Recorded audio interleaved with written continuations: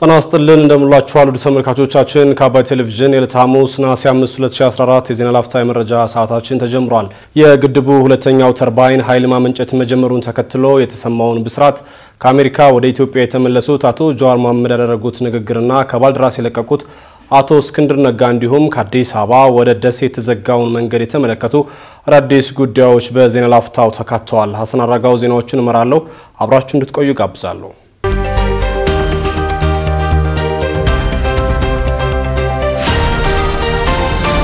አጫጭር መረጃዎችን እናስቀድም። ከአዲስ አበባ ደሴ የሚወስደው መንገድ ቢከፈትም ከደብረ ብርሃን ወደ አዲስ አበባ ግን መግባት እንዳልቻሉ ነዋሪዎች ተናገሩ። ተሽከርካሪዎች ስራ በማቆማቸውና በተነሳው ተቃውሞ ከደብረ ብርሃን ሰሜንና ወደ ደቡብ ወሎ ዞኖች የተለያዩ አካባቢዎች የሚወስደው ዋናው መንገድ በመዘጋቱ ጉዳዩ አነጋጋሪ መሆኑን ነዋሪዎች በትላንትናው ዕለት ገልጸውልን ነበር።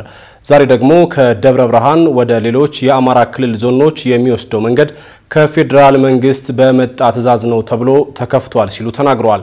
ከአማራ ክልል በወሎ መስመር አዲስ አበባን መዳረሻቸውን በማድረግ ጉዞ ላይ የነበሩ መንገደኞች በኦሮሚያ ክልል ስር ባሉ ሸኖና ሌሎች ከተሞች ላይ ሲደርሱ ግን እንዲመለሱ መደረጋቸውን ተከትሎ ሰሞኑን ተደጋጋሚ ቅሬታዎች ሲቀርቡ ቆይተዋል። ዛሬ ረፋዱን የደብረ ብርሃን ከተማ ነዋሪ ለአባይ ቴሌቪዥን እንደተናገሩት ከሆነም ከደብረ ብርሃን መነሻቸውን ያደረጉ ተሽከርካሪዎች ወደ ደሴ መስመር እየተንቀሳቀሱ ቢሆንም ወደ አዲስ አበባ ከተማ የሚወስደው መንገድ ግን አሁንም ባለመከፈቱ ምክንያት ከደብረ ብርሃን ወደ አዲስ አበባ ተሽከርካሪዎች ጉዞ እንዳልጀመሩ ገልጸዋል። ይህ ዜና እስከሚጠናቀርበት ሰዓት ድረስም በደብረ ብርሃን በኩል ወደ አዲስ አበባ የሚያልፉ መንገደኞችን እንዳላዩ ነዋሪዎቹ ገልጸዋል።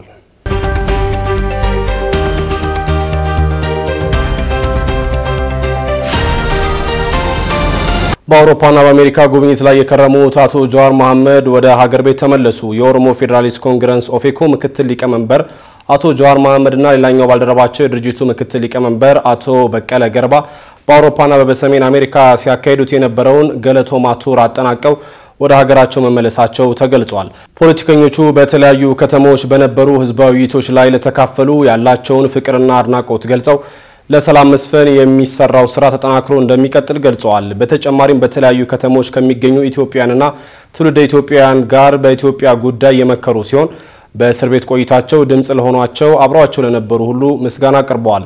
አቶ ጀዋር መሐመድ በተለይም በየመድረኩ ላይ በተነሱላቸው የተለያዩ ጥያቄዎች ስለ ጦርነት ማቆም፣ ስለ ሰላምና ድርድር አስፈላጊነት ጽኑ አቋማቸውን በተደጋጋሚ አስረግጠው ተናግረዋል። ሚዲያዎችም አስተማማኝ ሰላም እንዳይኖርና በቀጣይ የማያባራ እልቂት እንዲፈጠር ከሚያደርጓቸው ድርጊቶች እንዲቆጠቡ በማሳሰብ ለሀገሪቱ ሕዝብ ሲሉ በሰላም ጉዳይ ላይ አበክረው እንዲሰሩ ፖለቲከኛው ጥሪ አቅርበዋል።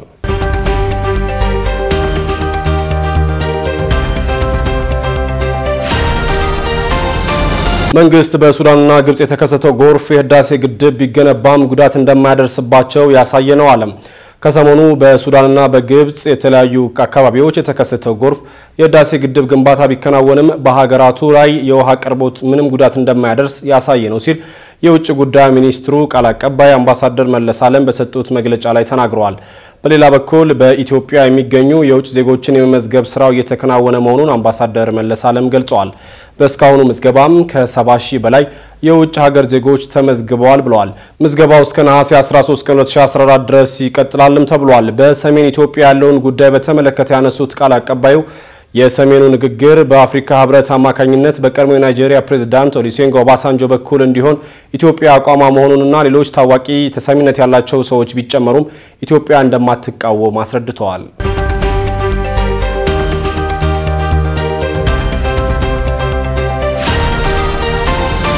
አቶ እስክንድር ነጋ ባልደራስን መምራት የማይችሉበት ደረጃ ላይ መድረሳቸውን ለፓርቲው አሳወቁ። የቀድሞ ጋዜጠኛና የአሁኑ ፖለቲከኛ አቶ እስክንድር ነጋ ለባልደራስ እውነተኛ ዲሞክራሲ ፓርቲ ባልደራስ የስራ አስፈጻሚ ኮሚቴ በጻፉት ደብዳቤ በመንግስት ጫና በአባልነትም ሆነ በአመራርነት መስራት የማልችልበት ደረጃ ላይ ደርሻለሁ ማለታቸውን ፓርቲው ዛሬ ማለዳውን አሳውቋል።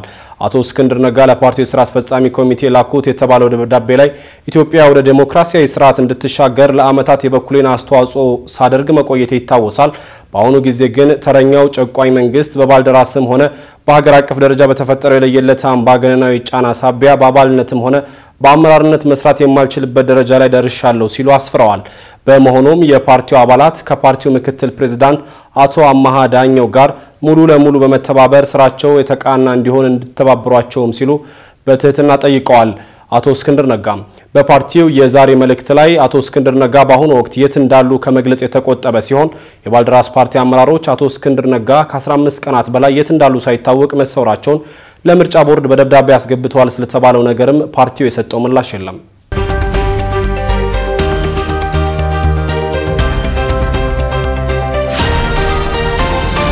ውድ ተመልካቾቻችን ከአባይ ቴሌቪዥን የሚተላለፍላችሁ ዜና ላፍታ አሁንም እንደቀጠለ ነው። አሁን ደግሞ በዝርዝር ወደምንመለከታቸው ርዕሰ ጉዳዮች እናልፋለን። በአፍሪካ ግዙፉ የሆነው የታላቁ የኢትዮጵያ ህዳሴ ግድብ ሁለተኛውን ተርባይን የኤሌክትሪክ ኃይል ማመንጨት ጀመረ። ጠቅላይ ሚኒስትር አብይ አህመድን ጨምሮ የተለያዩ የመንግስት የስራ ኃላፊዎች በቤንሻንጉል ጉሙዝ ጉባ ወረዳ በታደሙበት ዝግጅት ነው በዛሬው ዕለት ሁለተኛው ተርባይን ኃይል ማመንጨት የጀመረው። ይህ በእንዲህ እንዳለ የህዳሴው ግድብ ሶስተኛ ዙር ውሃ ሙሌት ተጠናቆ ውሃው በግድቡ አናት ላይ ይፈሳል ተብሎ የተጠበቀ መሆኑ ታውቋል። እንዳልካቸው ወዳጄ ታላቁ የኢትዮጵያ ህዳሴ ግድብ ሁለተኛ ተርባይን የኤሌክትሪክ ኃይል ማመንጨት ጀመረ። በአፍሪካ ግዙፉ የኃይል ማመንጫ የሆነው ታላቁ የኢትዮጵያ ህዳሴ ግድብ ሁለተኛ ተርባይን የኤሌክትሪክ ኃይል የማመንጨት ስራ በዛሬው ዕለት ጀምሯል። የታላቁ የኢትዮጵያ ህዳሴ ግድብ ካሉት 13 ተርባይኖች መካከል ዛሬ በይፋ ስራ የጀመረው ሁለተኛው unit 9 የሚባለው ሁለተኛው ተርባይን የተሳካ ተከላና ሙከራ ከተደረገለት በኋላ የኃይል የማመንጨት ስራ ማከናወን መጀመሩ ታውቋል። የታላቁ ህዳሴ ግድብ ስራ አስኪያጅ ኢንጂነር ክፍሌ ሃሮ በማብሰሪያ ስነ ስርዓቱ ላይ እንደተናገሩት ታላቁ የኢትዮጵያ ህዳሴ ግድብ በዚህ በያዝነው በ2014 ዓመተ ምህረት ለማከናወን ከተያዙ አብይ እቅዶች መካከል በሁለት unit ወይም በሁለት ተርባይን ጀነሬተሮች ኃይል ማመንጨት አንዱ ሲሆን ይህ እቅድ ተሳክቶ በሁለቱም unit ኃይል ማመንጨት ተችሏል ሲሉ ተናግረዋል። ባለፈው ወር የካቲት 13 2014 ዓመተ ምህረት ታላቁ የኢትዮጵያ ህዳሴ ግድብ 375 ሜጋዋት ኃይል የማመንጨት አቅም ያለው unit 10 የሚባለው የመጀመሪያው ተርባይን ተከላ ተከናውኖ በስኬት ኃይል የማመንጨት ሥራ መጀመሩ የሚታወስ ነው። ጠቅላይ ሚኒስትር አብይ አህመድን ጨምሮ የተለያዩ የመንግስት የሥራ ኃላፊዎች በቤሻንጉል ጉሙዝ ክልል ጉባ ወረዳ በታደሙበት ዝግጅት ነው በዛሬው ዕለት ሁለተኛው ተርባይን የኃይል ማመንጨት የጀመረው። የታላቁ የኢትዮጵያ ህዳሴ ግድብ ከፍታ 155 ሜትር ሲሆን ርዝመቱ ደግሞ 1.8 ኪሎ ሜትር ይሆናል። የዋናው ግድብ ውፍረት የግድቡ ግርጌ ላይ 130 ሜትር የሚለካ ሲሆን የግድቡ ጫፍ ወይም የላይኛው ክፍል ደግሞ 11 ሜትር ነው። በዛሬው የሁለተኛ ተርባይን የኃይል ማመንጫ ማብሰሪያ ስነ ስርዓት ላይ የተገኙት ጠቅላይ ሚኒስትር ዶክተር አብይ አህመድ የግድቡን የስራ ሂደት ክትትልና ግድቡን ወደ ተሻለ ደረጃ እንዲደርስ ላስቻሉ የግድቡ ባለሙያዎችና የግድቡን ስራ ሲደግፉና ሲያግዙ ለነበሩ ኢትዮጵያውያን እንኳን ደስ አላችሁም ብለዋል። በዚህኛው የክረምት ወቅት የግድቡን ቁመት ከባህር ጠለል በላይ 600 ሜትር በማድረስ ተጨማሪ ከ14 ቢሊዮን ሜትር ኪዩብ ውሃ በላይ በመያዝ በጥቅሉ ግድቡ ከ21 ቢሊዮን ሜትር ኪዩብ በላይ ውሃ የሚይዝ ይሆናል። በዚህም የክረምት ወቅት ጀምሮ የሚከናወነው ሁለተኛው ምዕራፍ ሶስተኛ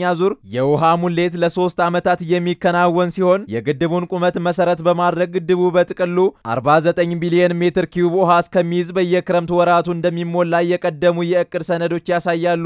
ግድቡ በአጠቃላይ የሚኖሩት 13 ተርባይኖች ግንባታና ተከላ ሙሉ ለሙሉ ሲጠናቀቅ ታላቁ የኢትዮጵያ ህዳሴ ግድብ የኤሌክትሪክ ኃይል የማመንጨት አቅም 5150 ሜጋዋትም ይደርሳል ተብሏል።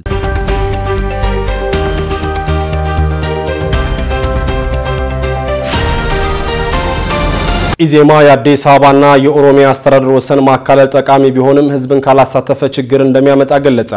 የኢትዮጵያ ዜጋዎች ለማህበራዊ ፍትህ ፓርቲ ኢዜማ የብሔራዊ ስራ አስፈጻሚ ኮሚቴው ባደረገው አስቸኳይ ስብሰባ መሬት ላይ ያሉ ችግሮችን ለመፍታት የአስተዳደር ወሰን ማካለሉ ጠቃሚ መሆኑ ባይካድም ውሳኔዎቹን ማስተግበር የሚቻለው ዜጎችን አሳትፎ የሂደቱ ባለቤት በማድረግ እንጂ በኃይል ለመጫን የሚደረግ ሙከራ ከጥቅሙ ጉዳቱ እንደሚያመዝን ሊታወቅ ይገባል ሲልም አካሄዱን ኮንኗል። ተጨማሪ ዘገባ አለ። ኢዜማ የአዲስ አበባና የኦሮሚያ አስተዳደር ወሰን ማካለል ጠቃሚ ቢሆንም ህዝብን ካላሳተፈ ግን ችግር እንደሚያመጣ ገለጸም። ህዝብ የአስተዳደር ውሳኔን የመቀበል ግዴታ የሚኖርበት እንደ ዜጋ ሂደቱ ላይ የመሳተፍና የማወቅ መብቱ በአግባቡ ሲከበርለት ብቻ ነው በሚል ርዕስ ኢዜማ ዛሬ ሐሙስ ማለዳውን ባወጣው መግለጫም ስለ አዲስ አበባና ኦሮሚያ የወሰን አከላለል ጉዳይ አቋሙን አሳውቋል። የኢትዮጵያ ዜጋዎች ለማህበራዊ ፍትህ ፓርቲ ኢዜማ የብሔራዊ ስራ አስፈጻሚ ኮሚቴው ባደረገው አስቸኳይ ስብሰባም የአዲስ አበባ ከተማ አስተዳደርና የኦሮሚያ ክልላዊ መንግስት የአስተዳደር ወሰን ለማካለል የሚያስችል ስምምነት ላይ መድረሳቸውን መረዳቱን ገልጿል። መሬት ላይ ያሉ ችግሮችን ለመፍታት የአስተዳደር ወሰን ማካለሉ ጠቃሚ መሆኑ ባይካድም ውሳኔዎቹን ማስተግበር የሚቻለው ዜጎችን አሳትፎ የሂደቱ ባለቤት በማድረግ እንጂ በኃይል ለመጫን የሚደረጉ ሙከራ ከጥቅሙ ጉዳቱ እንደሚያመዝን ሊታወቅ ይገባል ሲልም አካሄዱን ኮንኗል። ይህ ወሰን ማካለል ምን ዝርዝር ውሳኔዎችን እንደያዘ በጥልቀት የሚጣራ ይሆናል ያለው ኢዜማም ፓርቲያችን ሀገራዊ ምክክሩ ይፈታቸዋል ብሎ ከሚያስባቸው ጉዳዮች አንዱ ይህንን መሰል የአስተዳደር አከላለል ጉዳዮች ሆኖ እያለ እንደ ሀገር ያለንበትን ወቅት ከፍተኛ ችግር ታሳቢ ያላደረጉ እንደ ክላስተርና የአስተዳደር ወሰን ማካለል አይነት ውሳኔዎችን እየሰማን ነው ሲል ሁኔታው ጥብቅ ጉዳይ መሆኑን ጠቅሷል። ጉዳዩን የምናየው ማን ምን አገኘ፣ ማንስ ምን አጣ በሚል ቁንጽል እሳቤ ሳይሆን ከአግባብነቱና ጊዜውን ካለመጠበቁ አንጻር ከፍተኛ ስህተት ሆኖ አግኝተነዋል። በፍጥነት ሊታረም እንደሚገባም ልናሳስብ እንወዳለን ብሏል። ኢዜማም ፓርቲው እንደ ኢዜማ እምነት በአካባቢው እየኖረ ያለው ሕዝብ የመንግስትን ውሳኔዎች የመቀበል ግዴታ የሚኖርበት እንደ ዜጋ ሂደቱን የማወቅና የመሳተፍ መብቱ ሲከበርለት ብቻ መሆኑ ሊታወቅ ይገባል ያለም ሲሆን ፓርቲያችን አዲስ አበባ ላይ እየተስተዋሉ ያሉ የአስተዳደር መደበላለቅ ችግሮችን በተመለከተ ዝርዝር መረጃዎችን ሰብስቦ በጥናት የሚለይ ቡድን አቋቁሞ ቀደም ብሎ ስራዎችን እንደጀመረ በሚዲያ መግለጹ ይታወቃል። ጥናቱ ሲጠናቀቅም ውጤቱን ለህዝብ ይፋ የሚደረግ ይሆናል ሲል አስፍሯል። የአዲስ አበባ ከተማና የኦሮሚያ ክልል አስተዳደራዊ ወሰን አዲስ በተዘጋጀ ጥናት መሰረት የማካለል እንቅስቃሴ መጀመሩን ከሁለቱም ወገኖች መረጋገጡ ትላንት ተዘግቦ እንደነበር ይታወሳል። የወሰን ማካለሉ በሁሉም የአዲስ አበባ ከተማ ዙሪያ ወረዳዎችና በኦሮሚያ ክልል ስር ባሉ ልዩ ዞኖች መካከል የሚደረግ ሲሆን እንደየአካባቢው ከአዲስ አበባ ወደ ኦሮሚያ አሊያም ከኦሮሚያ ደግሞ ወደ አዲስ አበባ የሚካለሉ አካባቢዎች መለየታቸው ተሰምቷል።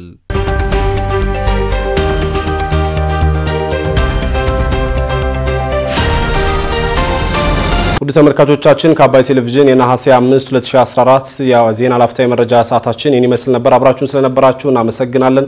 በያላችሁበት መልካም ጊዜ ይሁንላችሁ።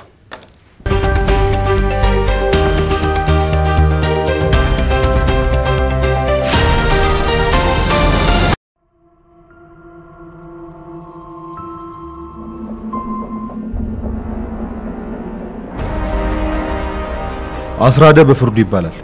በከተማችን ውስጥ አሉ የተባሉ ባለሀብቶችን እያደነ ከባድ የዘረፋ ወንጀል የሚፈጽም እጅግ አደገኛ ሰው ነው። ምንድን ነው? አስራደ በፍርዱ ይባላለሁ። ፖሊሶችና ሚዲያዎች ባልከፍላቸውም ፌመስ አድርገውኛል። የዚህ ወንጀለኛ ጉዳይ የከተማችን ሚዲያዎች በጣም እያራገቡት ነው። ስለ ልጆት አንዳንድ ነገር ለመጠየቅ ነበር የመጣሁት። በልጅነቱ ሲመቱትም ሆነ ሲቆጡት አያለቅስም። አንድ ቀን እንኳን ፊትን አይቼው አላውቅም። ለምን ልቤ ወደ አንተ እየተሳበ እንደሆነ ግራ ገብቶኛል። ሌባ ልብ የለው ማፍቀር አይችልም ያለው ማን ነው? ልብ አለው። ማፍቀር የሚችለው ግን አንድና አንድ ገንዘብ ብቻ ነው። ግን አንድ ነገር ይቀራል።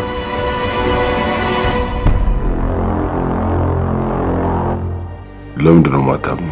ውሸታም፣ ቅሌታምና ከሃዲ ነሽ። ነኝ፣ አባድ ነኝ። እንተዋወቅ። ከአንቺ የሚበላልጡ አደገኛና ከባድ ሰዎች አሉ። መገደል አለበት። ለምን?